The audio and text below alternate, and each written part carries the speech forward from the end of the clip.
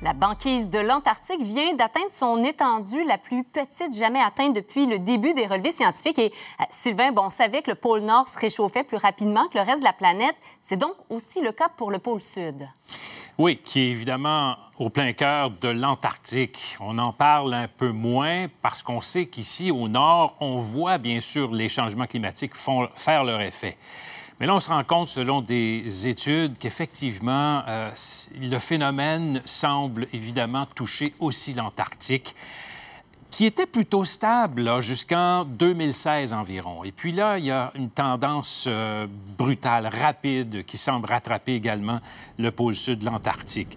Euh, on se rend compte, là, finalement, que l'étendue maximale qui a été atteinte cette année, c'est de 1 million de kilomètres carrés inférieur au record précédent. C'est presque deux fois la superficie de la France.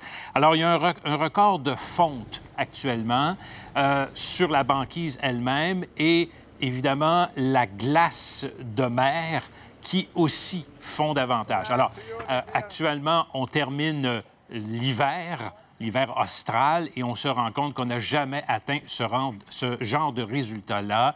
Euh, une, euh, euh, une, experte, en fait, dans l'océan Arctique, une glaciologue de l'Université de Melbourne, nous explique effectivement la situation là-bas.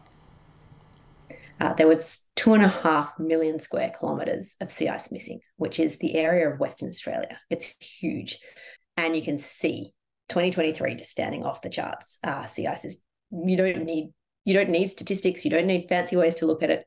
This year is unlike any other year.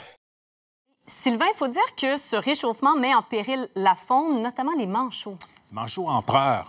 Euh, on a évidemment plusieurs colonies en Antarctique.